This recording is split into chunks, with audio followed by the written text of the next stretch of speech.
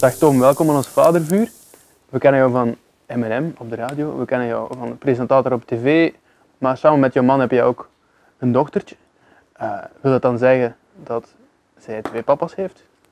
Tegen Jasmijn mag je nooit zeggen, je hebt twee papa's, want uh, ik ben Vake en mijn man is papa. En voor Jasmijn zijn dat ook twee zeer verschillende dingen.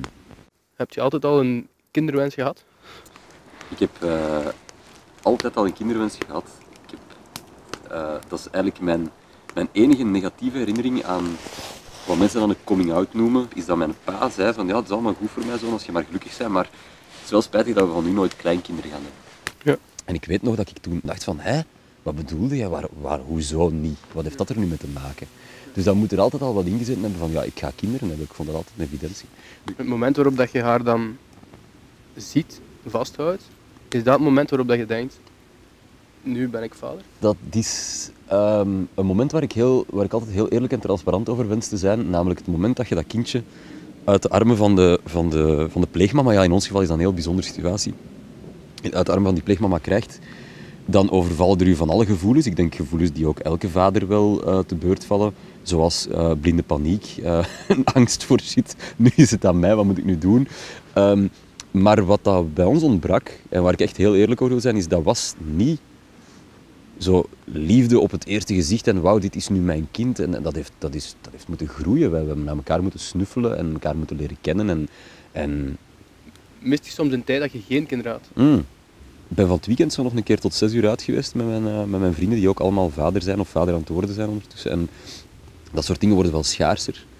Maar ik heb niet het gevoel dat ik iets moet laten voor mijn vaderschap. Dus in die zin van... Um, ja, mijn leven is wat anders, maar ik ben ook ondertussen zelf wat anders geworden en wat, ouder geworden. Um, ik vind, ja, mijn man en ik hebben een, een, altijd al een zeer goede verstandhouding gehad. En ja, in tegenstelling tot sommige andere relaties waarin rollenpatronen misschien een rol spelen. Zo, ja, wij hebben geen vrouw die we allen afwas kunnen laten doen. Dus ons huishouden gaat sowieso keurig door twee. En dat is ook zo alles wat met de opvoeding van Jasmijn te maken heeft. Dus wij gunnen elkaar heel veel ruimte en vrijheid. We hebben ook jobs waarbij dat, dat wel moet. Uh, uh, mijn man werkt als, als netmanager voor Ketnet, uh, ik dan zelf als radiopresentator.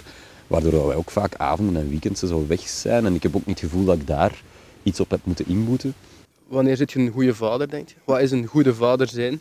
Um, ik vind een kind opvoeden moet doorspekt zijn van altruïsme als je met jezelf bezig bent, als je je kind als een soort accessoire hebt, en er zijn helaas wel mensen die dat echt doen, um, die een kind hebben omdat dat verwacht werd van hen, of om, om, ik weet het niet waarom, of die daar helemaal anders naar kijken, naar ouderschap, maar ik vind dat een kind um, echt uw enige en grootste prioriteit moet zijn. Ja, natuurlijk. en heb je meer schrik dan vroeger? Ik ben doodsbang. Ik ben een heel bezorgde vader.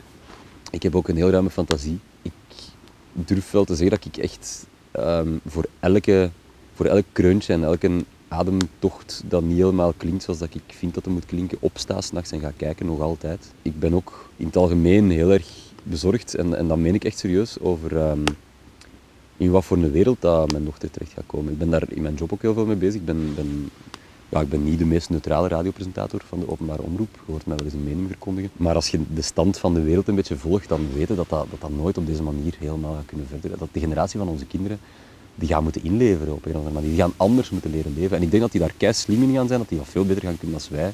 Die veel beter met technologie gaan omgaan, dat die veel beter met Noord-Zuid verhoudingen gaan omgaan, met ruimtevaart. Met, met, dat, die, dat die slimmer gaan zijn in al die dingen. Wij zijn een overgangsgeneratie die onhandig zijn met dat soort dingen en, en ook zo de spoken van onze ouders nog niet helemaal van ons hebben afgeschud. Maar tegelijkertijd baart, baart mij dat echt zorgen van, wat, shit, dan is, die, dan is die 30 en ik ben er dan misschien niet meer. En dan loopt hij in een wereld rond waar dan misschien veel meer oorlog gaat zijn over water als nu. Of, of... En hoe probeert je concreet dat, dat realistisch opvoeden? Hoe proberen jullie dat te doen of te integreren? Uh, wat ik heel belangrijk vind in Jasmijner opvoeding is dat hij niet bang is van mensen, dat hij met uh, heel veel gevoel voor diversiteit wordt opgevoed. Ze is zelf ook half Aziatisch van origine. En ik vond het bijvoorbeeld in de, kleuter, in de, in de keuze van de kleuterschool van Jasmijn heel belangrijk dat daar ook dat daar niet alleen uh, Lasses en Maries naar school gaan, maar ook uh, Aminas en, en, en Mohameds. Dat hoort er sowieso bij, dat is, dat is belangrijk. Um, waar haalt je je geluk uit? Daar s morgens mee opstaan op een zondag en dat die dat ik uh, spek met eieren begin te maken in de keuken en dat hij naast mij staat en zegt, mag ik mee helpen koken? En dat ik die op een stoel naast mij zet en dan samen de eitjes kapot kloppen. Ja, dat is, dat, dat is van een schoonheid waar dat je hart van breekt. Dat, is, dat, dat, dat, dat soort dingen, daar, daar leef ik voor. Dat, dat, kan elke vorm van carrière of uh, de Porsche die ik al heel mijn leven wil, kan mij dan echt gestolen worden. Dat maakt me echt niet uit. En in hoeverre helpt het ouderschap u relativeren? Uh, voor de vol 100%. Ja. Ik uh, ben een veel rustigere mens geworden. Veel minder brandend ambitieus. Ik ben nog altijd wel ambitieus. Maar mijn prioriteiten zijn compleet anders geworden. Ik wil er heel graag zijn als mijn kind naar huiswerk thuis komt. En ik zal zelfs meer zeggen, ik zal er zijn als hij naar huiswerk thuis komt. En als dat wil zeggen dat ik mijn uh, druk beluisterd avondspitsprogramma op een nationale radio moet opgeven, dan zal dat gebeuren. En dat is iets dat je mij een paar jaar geleden nooit had horen zeggen. Hoe wil je dat ze u herinnert? Uh, ik hoop dat hij kan zeggen dat wij haar liefdevol hebben grootgebracht met complete overgave. Want dat is wel wat wij proberen. Um, en ik hoop ook ergens wel dat hij voor mij als persoon, zo, en niet alleen als opvoeder, maar voor mij als persoon zo wel... Ja, is een dochter ook, dus ik hoop dat ze wel ergens wat bewondering heeft. Of dat die, allez, ik zou wel graag de held van mijn dochter zijn. Dat wel. Morgen zijt je er niet meer om een of andere reden. Wat wilt jij dan nog? Wat zou je dan echt nog willen meegeven? Ja, ik ben, ben waar ik heel fel mee bezig ben, ook in dingen die ik lees en die ik zelf schrijf, zo, is dat, dat wij ons echt heel veel met bullshit bezighouden. Uh, dat, ik zou haar dan graag willen meegeven van, denkt heel je leven lang groot genoeg. Je geeft het aan, hè. Er, wordt, er is veel bullshit, veel mensen, twee mannen en een kind, er wordt veel over gezegd. Hoe waren de reacties daarop? Ik heb het grote geluk um, van in een maatschappij en een context te leven waar helemaal niet zo raar meer wordt opgekeken van twee mannen met een kind. Bijvoorbeeld mijn boek, eh, ik heb een boek geschreven over onze adoptieprocedure, omdat ik vond dat er zo, zoveel negatieve literatuur bestond over zowel uh, holibi zijn als over Ehm, als over adoptie. En ik vond dat zo jammer, omdat ik dat, zeker die adoptie ook gewoon compleet als positief ervaren heb, van begin tot einde. Er waren wel moeilijke momenten, maar we hebben dat nooit ervaren als negatief. Dat is nog iets helemaal anders. Dus ik wou dat neerschrijven in een boek. En dat boek is helemaal geen bestseller geworden. Maar wat ik wel merk is dat dat boek, en dat doet mij heel veel plezier, uh, voor mijn uitgever is dat iets minder prettig dat dat geen bestseller geworden is. Voor, voor mij is het heel prettig dat dat boek heel veel wordt doorgegeven, van mens naar mens. Er zijn echt ondertussen op beduimelde exemplaren waar je dan foto's van krijgt. Um, en heel veel families die zelf, uh, waar zelf um, homokoppels zijn, of, of homokoppels met kinderen, of, of lesbische koppels uh, met kinderen, waar dat boek rondgaat als een soort van, um, voilà, hier staat het nu een keer allemaal in, lezen het een keer, dan weten hoe dat bij ons zit.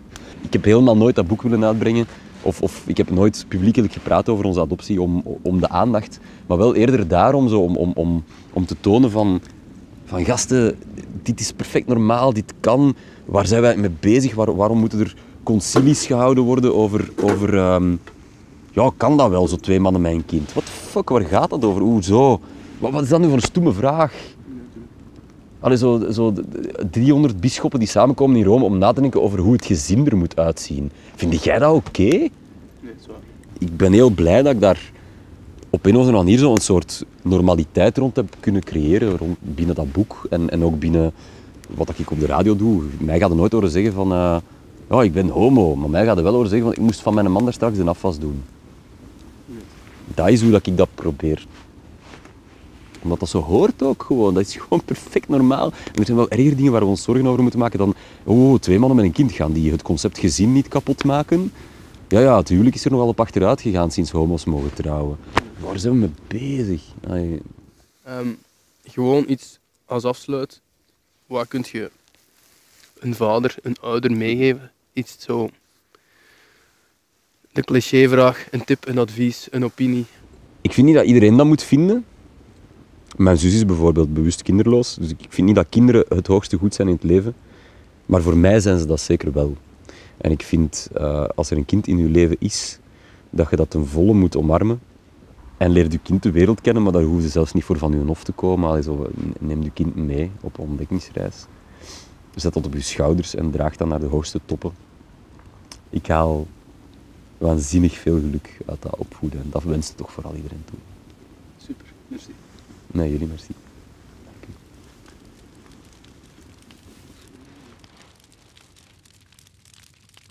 Ik heb zo'n grotere step en dan eh, heeft ze een roze met zijn toeter. En dan de weg naar school toe is dat super cool, want dan ben je met je dochter aan het steppen. Maar ik moet ook terug